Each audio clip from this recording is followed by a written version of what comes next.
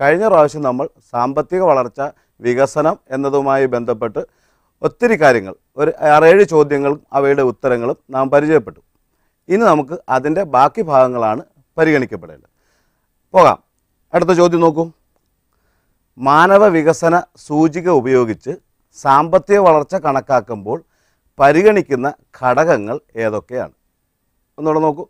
മാനവ വികസന സൂചിക ഉപയോഗിച്ച് സാമ്പത്തിക വളർച്ച കണക്കാക്കുമ്പോൾ പരിഗണിക്കുന്ന ഘടകങ്ങൾ എന്താണ്?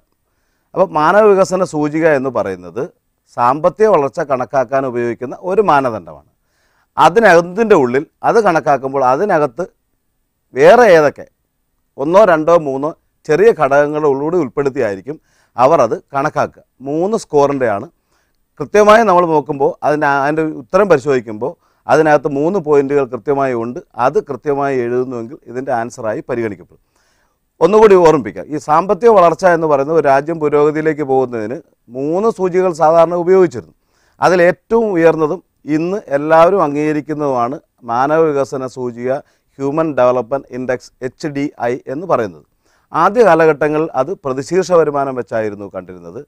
കുറച്ചും കൂടെ കഴിഞ്ഞപ്പോൾ ഭൗതിക ജീവിത ഗുണനിലവാരം സൂചിക എന്നറിയപ്പെടുന്ന ഒരു സൂചിക വികസിപ്പിച്ചെടുത്തു. ഏറ്റവും അവസാനമാണ് ഇപ്പോൾ മിക്ക രാജ്യങ്ങളും ഇതിന്റെ അടിസ്ഥാനത്തിലാണ് സാമ്പത്തിക വളർച്ച കണക്കാക്കുന്നത്. മാനവ വികസന സൂചിക എന്നതിന്റെ അടിസ്ഥാനത്തിൽ.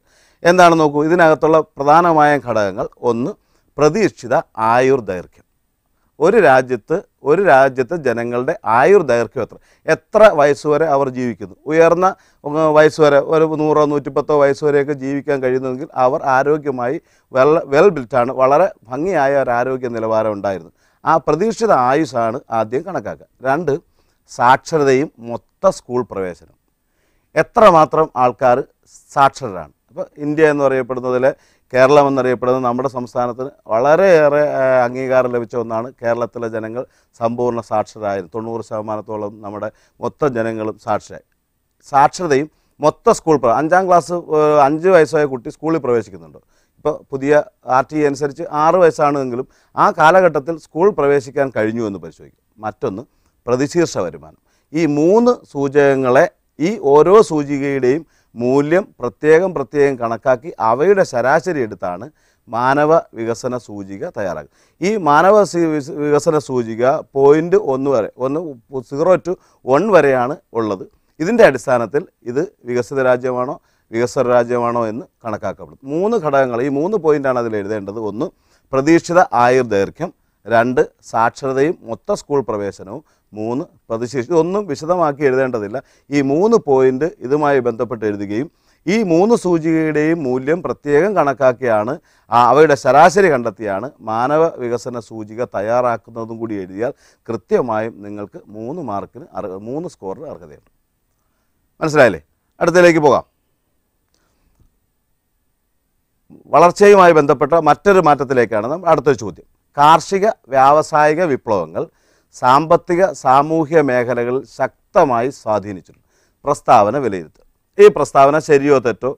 ഇത് ശരിയാണെങ്കിൽ എന്താണ് കാരണം? എങ്ങനെയാണെന്ന് കൃത്യമായി സമർത്ഥിക്കേണ്ടത് കാർഷിക വ്യാവസായിക വിപ്ലവത്തെ സംബന്ധിച്ച് നിങ്ങൾ മുൻ ക്ലാസ്സുകൾ ചരിത്ര പാഠപുസ്തകവുമായി ബന്ധപ്പെട്ട് പഠിച്ചിട്ടുണ്ടാകും അത് ഇവിടെ അത് അന്വേഷിക്കുന്നത് അതിന്റെ സാമ്പത്തികമായ മാറ്റത്തെക്കുറിച്ചാണ്. സാമൂഹികമായി ഇതിനെന്ത് മാറ്റം ഉണ്ടായെന്നാണ് ഇവിടെ പരിശോധിക്കുന്നത്. ചോദ്യം ഒന്നുകൂടെ നോക്കാം. കാർഷിക വ്യാവസായിക വിപ്ലവങ്ങൾ സാമ്പത്തിക സാമൂഹ്യ മേഖലയിൽ ശക്തമായി സ്വാധീനിച്ചിട്ടുണ്ട്. പ്രസ്താവന വിലയിരുത്തുക കൃത്യമായി നമുക്ക് എഴുതാൻ പറ്റും. കാർഷിക വ്യവസായങ്ങൾ പുരോഗതിയിലേക്ക് നയിച്ചുവെങ്കിൽ ഈ പ്രസ്താവന ശരിയാണ്. ഇതിന്റെ ഉത്തരമായി നമ്മൾ ആദ്യം എഴുതേണ്ടത് പ്രസ്താവന ശരിയാണ്. ഇനി നമ്മൾ സമർത്ഥിക്കണം. വിലയിരുത്താനാണ് പറഞ്ഞിരിക്കുന്നത്. ഇത് വെറുതെ ശരിയാണെന്ന് പറഞ്ഞാൽ പോരാ. എന്തുകൊണ്ട് എന്ന് കാരണം കാര്യവും കാരണവും നമ്മൾ സമർത്ഥിച്ചാൽ മാത്രമേ അതിന്റെ സ്കോറിനുള്ള മാർക്ക് നമുക്ക് നാല് സ്കോറാണെന്നുള്ള കാര്യം മറന്നുപോകേണ്ട. ഈ നാല് സ്കോറിനുള്ള മാർക്ക് നമുക്ക് സ്കോർ നമുക്ക് ലഭിക്കുള്ളൂ. നോക്കാം നമുക്ക് ഓരോന്നും. എങ്ങനെയാണ് കാർഷിക വ്യാവസായിക വിപ്ലവങ്ങൾ സാമ്പത്തിക വളർച്ചയിലേക്ക് പോയത്? ഒന്ന് കാർഷിക വ്യാവസായിക വിപ്ലവങ്ങൾ വന്നപ്പോൾ ഉൽപ്പാദന രീതിയിൽ മാറ്റമുണ്ടായി. പരമ്പരാഗതമായ ഉൽപ്പാദന രീതിയിൽ നിന്ന് ആധുനിക സാങ്കേതിക വിദ്യ ഉപയോഗിച്ചുകൊണ്ടുള്ള ഉൽപ്പാദന രീതി വന്നു. ഉൽപ്പന്നങ്ങളുടെ വൈവിധ്യം. ഒരേ സാധനത്തിൽ തന്നെ പല ഉൽപ്പന്നങ്ങൾ വന്നു. ഒരേ ഉൽപ്പന്നങ്ങൾ തന്നെ പല ക്വാളിറ്റിയിൽ വന്നു. ഇങ്ങനെ ഉൽപ്പന്നങ്ങളിൽ തന്നെ വൈവിധ്യമുണ്ട്. നമുക്കിന്ന് കാണാൻ സാധിക്കും നമുക്ക് ഏറ്റവും കൂടുതൽ ഉപയോഗിക്കുന്നത് പൗഡർ സോപ്പ് നമുക്കൊരു ഷോപ്പിൽ ചെന്ന് കഴിഞ്ഞാൽ ഇഷ്ടംമാതിരിയുള്ള വൈവിധ്യമുള്ള സോപ്പുകൾ നമുക്ക് കാണാൻ സാധിക്കും. ഇതുപോലെ ഇത് ആ കാർഷിക വ്യവസായ വിപ്ലവത്തിന് ശേഷം വന്ന കാലഘട്ടത്തിലാണ് ഇതിന്റെ ഒരു ഉൽപ്പന്നങ്ങളുടെ വൈവിധ്യം വന്നത്. മറ്റൊന്ന് ഉൽപ്പാദനത്തിന്റെ അളവിൽ. വളരെ കുറച്ച് മാത്രം ഉൽപ്പാദിപ്പിച്ചുകൊണ്ടിരുന്ന സമയത്ത് കാർഷിക വ്യവസായ വിപ്ലവത്തിന്റെ സ്ഥലമായിട്ട് പുതിയ സാങ്കേതികവിദ്യ വന്നു പുതിയ മെഷീനറി വന്നു. എല്ലാ സൗകര്യങ്ങളും ആധുനിക സങ്കേതം ഉപയോഗിച്ചുകൊണ്ട് വ്യവസായശാലകൾ പ്രവർത്തിച്ചു. അതിനകത്ത് പ്രവർത്തിക്കുന്നവർ വർക്ക് ചെയ്യുന്നവർ തൊഴിലാളികൾ ഉന്നതമായ വിദ്യാഭ്യാസമുള്ളവർ അതുകൊണ്ട് അവരുടെ പ്രത്യേക കഴിവും ഈ സാങ്കേതിക വിദ്യ ഉപയോഗിച്ചുകൊണ്ട് ഉൽപ്പാദനത്തിന്റെ അളവിൽ മാറ്റം വന്നു. ഉൽപ്പാദനത്തിന്റെ സംഘാടനത്തിൽ. എന്ന് വെച്ചാൽ ഒരു ഫാക്ടറി എങ്ങനെയെങ്കിലും പ്രവർത്തിക്കില്ല. കൃത്യമായും സമയബന്ധിതമായി അടുക്കും ചിട്ടയോടുകൂടി പ്രവർത്തിക്കാനുള്ള ഒരു ഒരു ശീലം വന്നത് ഈ കാർഷിക വ്യവസായ വിപ്ലവത്തിന്റെ ഫലമാണ്. അതുകൊണ്ട് തന്നെ ഈ കാരണങ്ങളാൽ കാർഷിക വ്യാവസായിക വിപ്ലവങ്ങൾ നമ്മുടെ സമ്പദ് വ്യവസ്ഥയെ കൃത്യമായും സാധൂരിച്ചിട്ടുണ്ട് കൃത്യമായും മാറ്റം വരുത്തിയിട്ടുണ്ട്. നമുക്ക് ഒന്ന് പെട്ടെന്ന് ഓർമ്മിച്ചാൽ പറ ഉൽപ്പാദനം വർദ്ധിപ്പിച്ചിട്ടു രണ്ട് ഉൽപ്പാദനം പഠിക്കുക സ്വാഭാവികമായിട്ട് ഉൽപ്പന്നങ്ങളുടെ വൈവിധ്യം വന്നു.